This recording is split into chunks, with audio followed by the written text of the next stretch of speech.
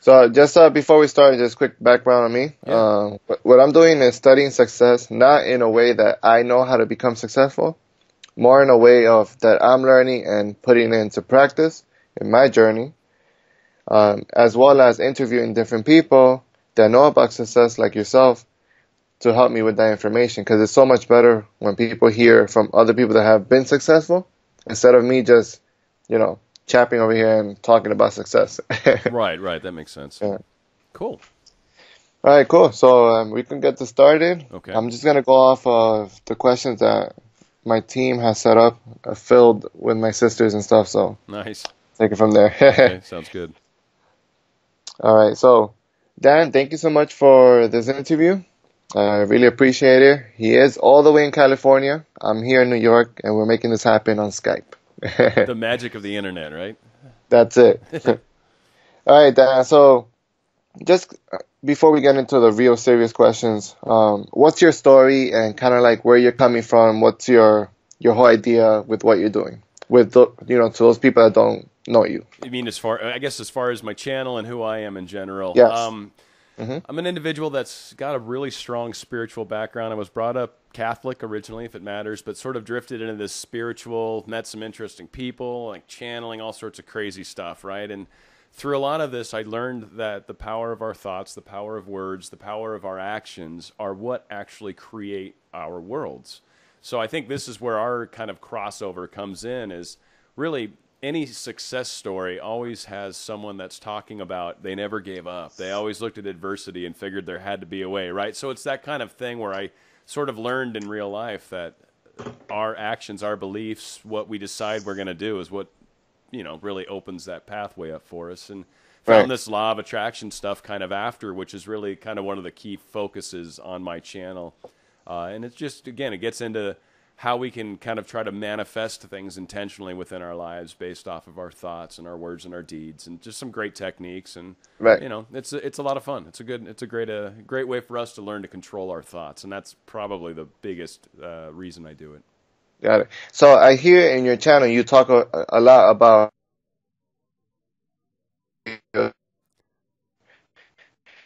you broke up a little bit there if you can repeat the question that'd be great Uh, I want to be honest. Oh, you got me? Yeah.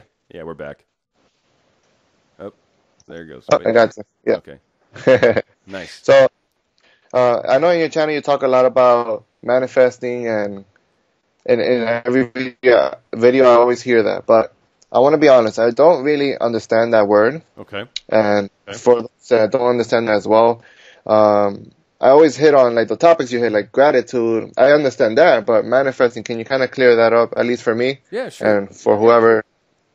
Manifesting essentially is just a, a word that means creating, uh, creating something intentionally. Uh, so that's really what it means: is something to come from maybe a thought form, a thought, like, and then Right. forming into reality. That process, that's manifestation, is really what they're referring to when they say that. And again, that happens with success, maybe trying to find a job or whatever. It's that it starts as a thought and then eventually becomes reality. So.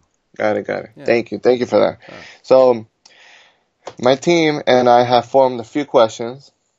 Um, and they just kind of want to get to know you a little bit, a little fun facts. And what are your five, or where do you see yourself in five years? Yeah, that's a good one. Um, and and kind of on that same line, I do uh, believe that it's good to have uh, like a five year plan for sure. I've got a an eighteen month plan, a five year plan, and then kind of a ten year plan. The five year plan, I actually see myself probably, I see myself doing seminars. Uh, I'm Okay. involved in voiceover work, so I do see myself uh, having been in a movie by that point.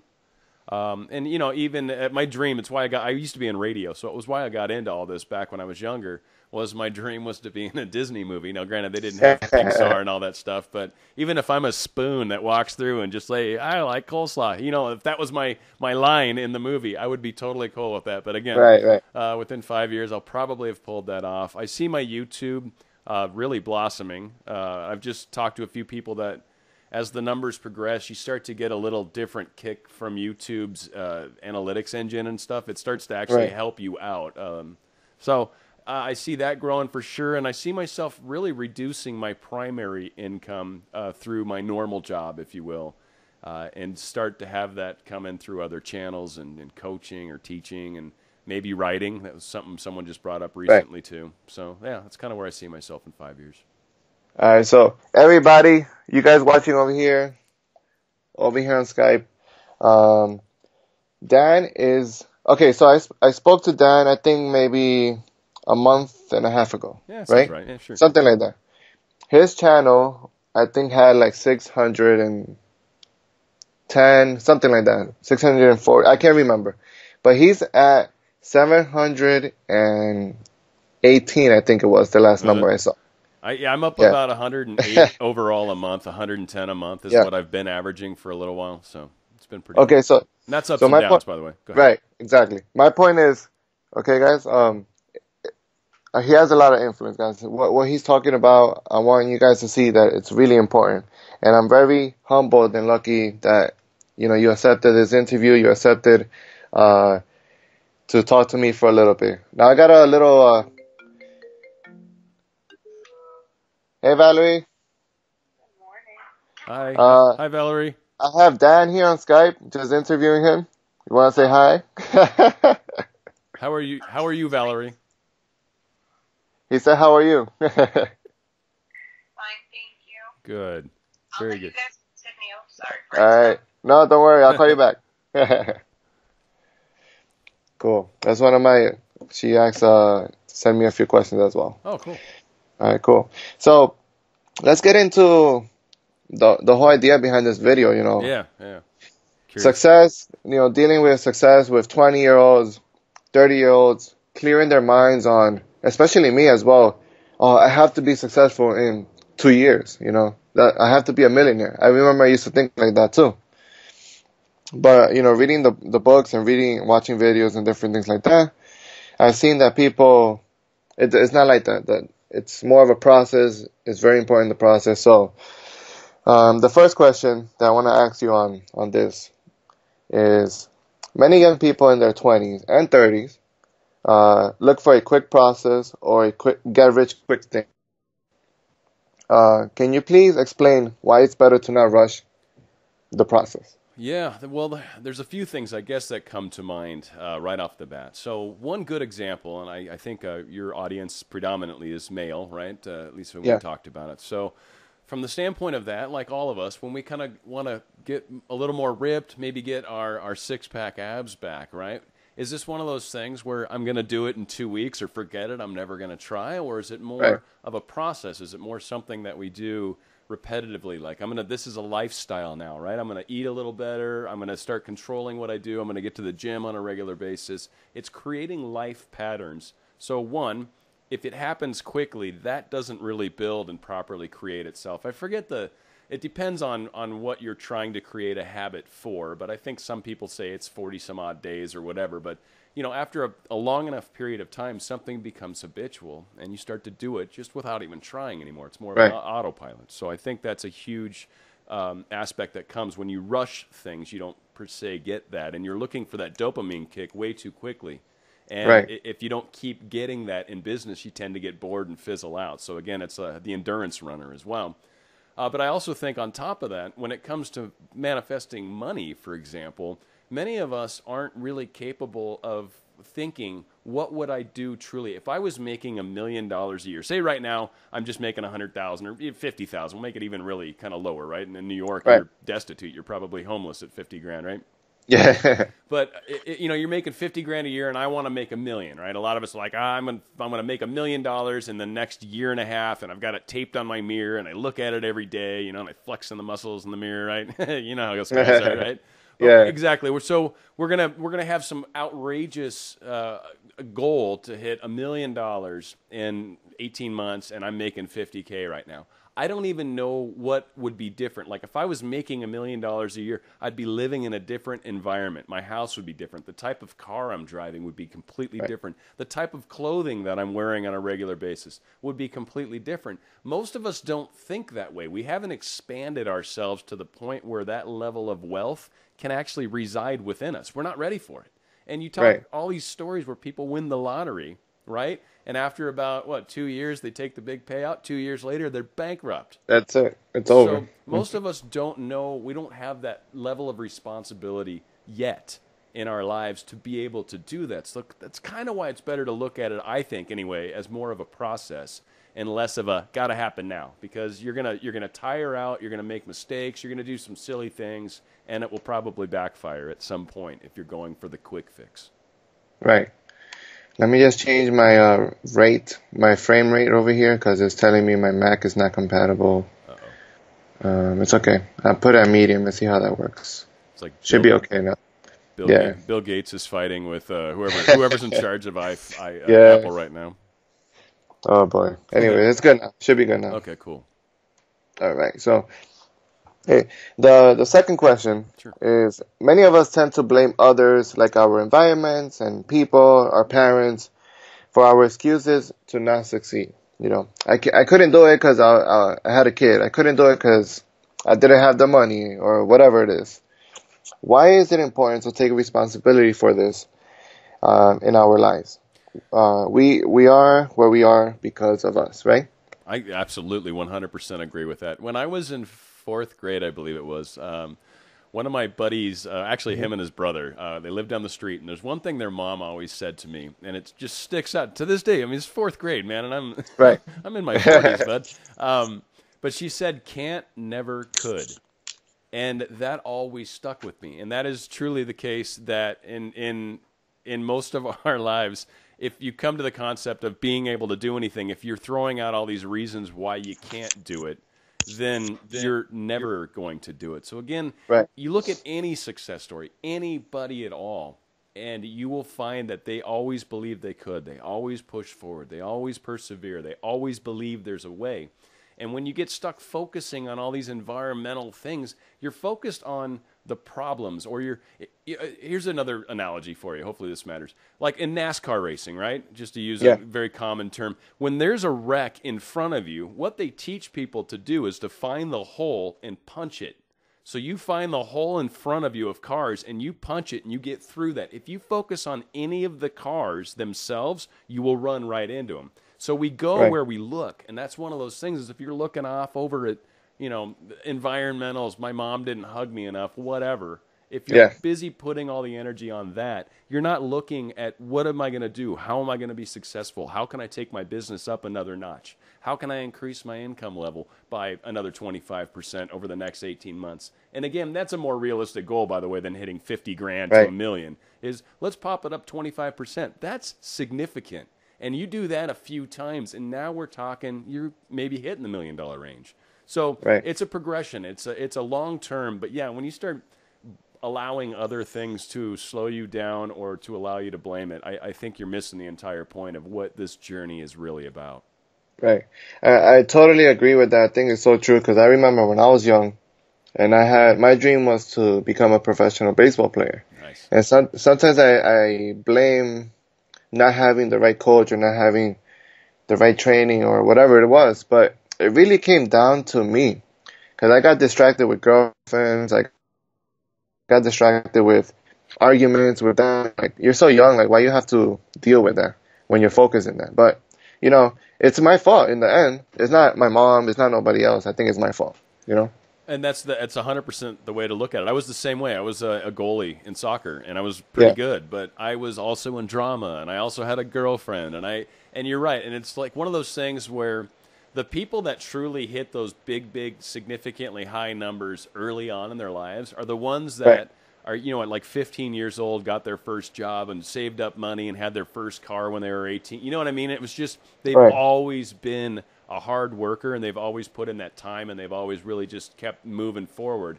And those are the people that generally, when you look back, are the ones that are successful or the ones that hit their first million at 24 or the, you Right. know, it, and that's, I think I agree with you. It's, it was our fault. We didn't push hard enough or we had some other distractions that maybe helped round us out as a person as well. I mean, because Right. some would question whether money's really everything, right? I mean, my dad used to joke, it, it's money's not everything, but it comes way ahead of whatever's in second place. So, Right. um, but yeah, I mean, money's a really, really nice thing to have, and when you do have it, it's great, and you don't worry about certain things, no question about it. But it doesn't Right. buy love, it doesn't buy, you know, happiness. So there's just those kinds of things to keep in mind. Right. So the third question, uh, I think is one of the most important ones, right? Being so young and maybe not having the experience of success, how can they learn or gain that experience through others? Now, before you hit on that, I just want to introduce my mentor in this conversation, Oh, cool. uh, Jeff Howman. He's been mentoring me for the last two months. Uh, I met him at my job. I work at a hotel. He was staying there. He work, he does IBM or worked for IBM, Nice. and has like startup companies and other things, coaches and stuff. And uh, it's just so cool. Look, it, it makes a lot of difference when you have somebody's experience, somebody's failures. Please, um, I know you, you definitely know about this. Hit on this. What do what do we want to hear? Let us know. Well, uh, you know, from the mentor side, for sure. Uh, and I, you kind of had that question, so we might be knocking two of these out with one stone here. But uh, is a mentor important? I think is the real key question from what you're asking me. And I'm going to say, just to short and simple, absolutely. Um, I think they say that you average, like your success level averages between the five closest people, you know, something like that. And so, if the people you're hanging out yeah. with are demonstrating that which you're trying to do, then yes, you have a so much a stronger chance because by hanging out with them, you're seeing how it's done. You're hearing them talk. You're getting a feel for what does success sound like? What does success dress like? What does success drive up in? What you you know, uh, on a total aside, by the way, Bill Gates used to show up at work in a Honda Accord, by the way, which I think is very funny. But, and uh, and I forget the other guy's name, uh, super finance uh, finance guy. Um, not Bill Gates. He's the one just below him that everyone always talks about. He's got huge money. Anyway, he drives the same car forever and ever and ever. Lived in the same house forever. So it's not necessarily about flashy, but regardless, when you spend time with a mentor, you get a much much better taste and experience for how to do what it is that you're trying to do. If you're trying to lift weights, your mentor should be a buff person, right? I mean, if that's what you're trying to accomplish, go to someone that knows how to do it. Um, if you're trying to, um, we're still together, or did we lose each other? There we are. Cool. If you're Yeah, okay. yeah, and if you're trying to, you know, understand something maybe within the church or whatever, go to the go to the person that's spent, you know, all these years studying theology. If you're looking at someone that's successful monetarily, talk to them. Someone that's opened a lot of businesses, talk to somebody that's been an entrepreneur. It's it, exa- Right. it it's such an important uh, point in in steps, I think, for all of us in our journey. And certainly, the Right. younger you do it, the better off you are because it gets you thinking that way that much quicker. Right. And I, I love what you said about the the money and the material things, because I watch a lot of Gary Vaynerchuk. uh yeah, and he talks about he he's very humble. Like he's very his his humility is um, to the max. Like he rents an apartment. He doesn't wear the the bling bling, the watches, the name brands, and all that crazy stuff. Right. And I don't want to say like I've seen it because I don't, you know I don't know him in person, but um, it kind of seems true to me what he does, and he just puts that money back into his business, into others, and it's so true that something that I'm looking forward to doing. You know, Well, yeah, and I think a lot of it too, in all honesty, uh, is the motivation behind why we're doing it. And Right. there are a lot of people that it's about the flash, about the bling, and you know, if that is their thing, if that's your thing, then more power to you. But I think again, and it sounds like this is similar with you, Carlos. Is there's levels, there's more to life. You know, like you talked about the girls and stuff when you were younger. I mean, there's aspects, having a family and all these things. Definitely, kind of, you can't just focus on making money, making money, making money when you maybe have a child at home that needs you know some attention or has got a baseball game that you want to go to so Yep. it's a balance it's totally a balance thing of course, yeah.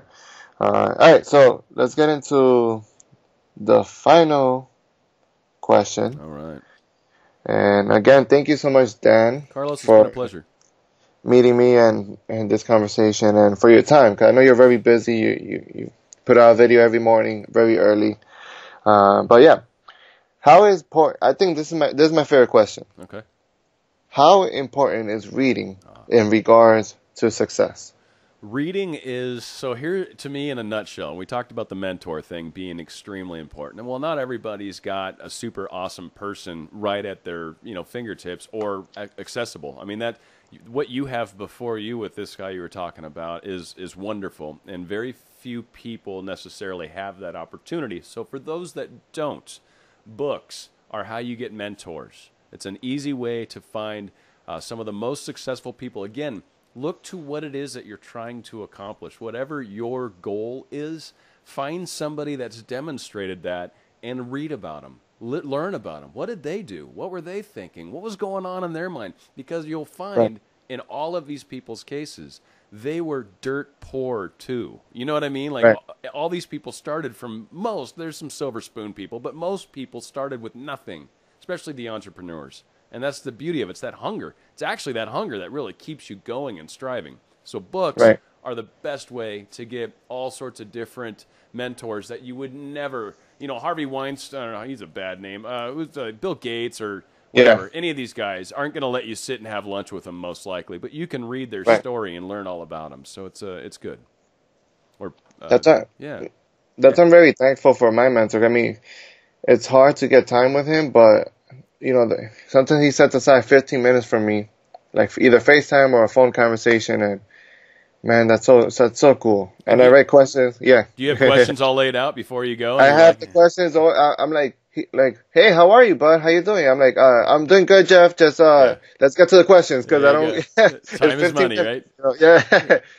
Because uh, he only, I know he's only gonna give me 15 minutes or 30 minutes. I want to get into the questions, right. and we'll, we'll say how how are you through text or whatever it is. Yeah. But nice, you know.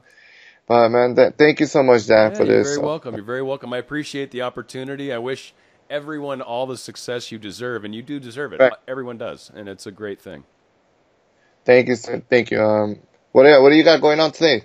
You, you uh, live? Yeah, today is uh, it's, uh, well, I've been off work, so that's great. So I'm gonna try to okay. do a couple YouTube videos. I actually didn't. Do, I usually record them at night and then release them in the morning when I wake up for work. So that's kind of why they always go out at the same time. I just hit publish, but um, I didn't actually do one yesterday. I was just celebrating. Yesterday was a good day. It was obviously Thanksgiving, yeah. and uh, I was uh, watching a couple football games, and uh, might have had a couple uh, couple beers maybe, and uh, yeah, okay. wasn't going to be recording any YouTubes.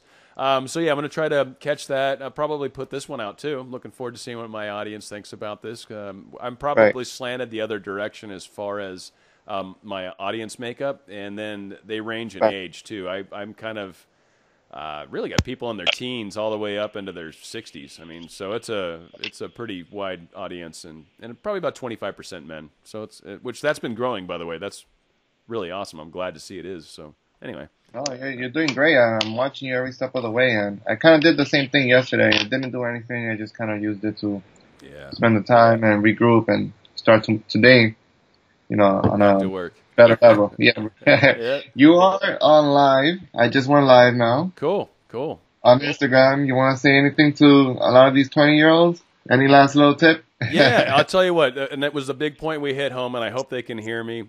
Have a mentor, and if you don't, if you don't know someone personally in your life, then find a book of someone that's done exactly what it is that you're trying to accomplish and start learning that now. The sooner you start learning that, the sooner you're going to have the success that you're looking for. Right. Thank you so much, Dan. Thank you, you so it. much for your time. And I'll let you go. Hopefully we can, uh, let me just get off a live here. Got a personal question to ask you. Okay. yeah, you got it, man. All right. And now I did this, I won't put it. Um, but, um, so I definitely want to um, spend an hour with you or so, or if you can, sometime whenever you have time. And I'm willing to pay you. Like I'll pay you whatever hundred. Uh, it doesn't matter. Uh, I just want to ask you questions on the tags you're using, different things like that. Any tips that you can help me with, you know. And I and I don't care. I'll, I'll send you no, uh, quick. It, yeah, whatever. definitely. Um, but where I want you to start first is this yeah. guy named Steve. I want to say it's Steven Ives, uh, I V E S kind of a chubby yeah. white guy, blondish hair. He mm-hmm. actually mm-hmm. goes to YouTube and talks to a lot of their developers and stuff. So he's constantly doing videos, and he's also got many, many, many, many different channels, and he opens channels up as a business, and so right. he knows uh, how it works. Two, there is a thing called TubeBuddy. It's an add-on for Chrome. I hope they have it for Safari. I'm not sure. Um, but I heard Roberto Blake talk about it. Yeah, TubeBuddy. TubeBuddy is a lifesaver. Um, it will allow you all the tags. It allows you to save up to three groups of tags. Just that right there, in and of itself, has saved me hours. Right. Um, but it allows you to basically save out a lot of these things. There's uh, upload templates that you have already within YouTube. So again, it's making use of these things, but tags is key. Um, and then consistency. You you don't do a lot of videos, it seems, which is good, But um, but it's that consistency. So maybe make it every Monday you've got one out, right? And that's just people know that Monday's the day. But try to be consistent about the day that you're going to put out. If if you're going to do one a week, then do it. You know, Because I started only two months ago, and every Sunday I go live and I put that.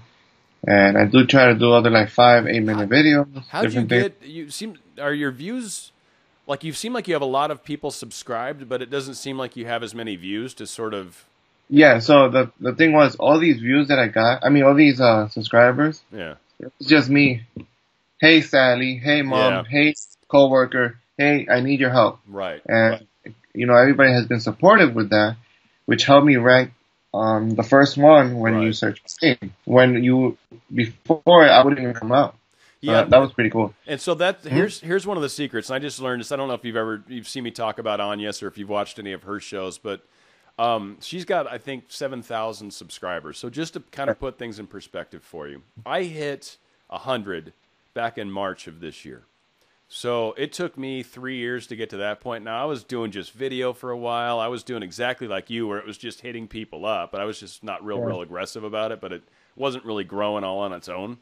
Once I broke a hundred, that changed, and literally you get a bump, roughly equivalent to about ten times what you were getting before. So maybe if you were averaging, I don't know, maybe five a month, now you're going to get fifty a month, or Right. or, or a little more. Um, and then what happens when you hit a thousand is the same thing. So Agnes one year ago with her almost well seven seventy three hundred or whatever I think she's at roughly right now. She was Yeah. exactly where I am right now one year ago. So the growth factor kicks in even more significant when you hit a thousand. I'm sure there's another marker. So it's one of those things, kind of like we were talking about uh, on the video. Just be consistent, be persistent, keep pushing towards it, and it actually starts to actually build itself, and, and it just starts to take off. But yeah, TubeBuddy's huge. That Daryl Derral Eves, that's his name, Derral Eves. Yeah, yeah, I know who you're talking. about. Yeah, that guy rocks. Um, but yeah, yeah, we can talk more, and certainly as I keep growing, it just helps. And I'm constantly trying to figure out new things to do too. And uh, I told my wife, I'm like, babe, what the? I'm sorry for my language. no, I'm what the fuck? Yeah, is this guy? Look at this guy. Look, I'm like, and I'm so like real with him. Like, look, this is who I'm gonna interview. Like, and she's like, oh man, no, yeah, no, I get it, I get it. But like, I'm like, babe, like, I, two, three weeks ago he was at 650. Today he's at seven, almost 720. Like, this is a big deal, you know. It's And to have this, you know, it's so valuable to me. 33 minutes. Look, 33 minutes, and yeah. trust me, this means a lot to me. I appreciate it. That's good. I'm glad. I'm glad, and I'm glad I'm able to be be sort of a mentor in this regard. It's pretty cool. Yeah. So yeah, it's just uh, just stay consistent with it and keep at it, man. Literally March, dude. That was when I broke hundred. Right. Uh, and I've I've probably averaged about uh, you know it's usually 108, 110, 100 and it's like right around there. It seems like every month is what I'm typically averaging. I did a couple extra videos with Anya's, which helps, by the way. So I'm going to release this on my channel, and I'll link your channel. Um, Cool. Uh, and yeah, so we'll at least try to get you get some traffic back to you and stuff. Um, good videos Yeah, for obviously really success. So yeah. But uh, literally with Anyas, um, I get a bump every time we do videos. We were doing one a month, and then we had to move timelines up because of holidays and stuff. So it worked out to where we got together three every three weeks, twice now, and I'm uh, Right. I'm getting a nice little bump from that too. So it helps. It's all. It's just a community, man. It's it's good stuff. So I'll let you go and let's take a selfie. Cool. Nice. oh, there we go. All right. All right. I love Oh. it.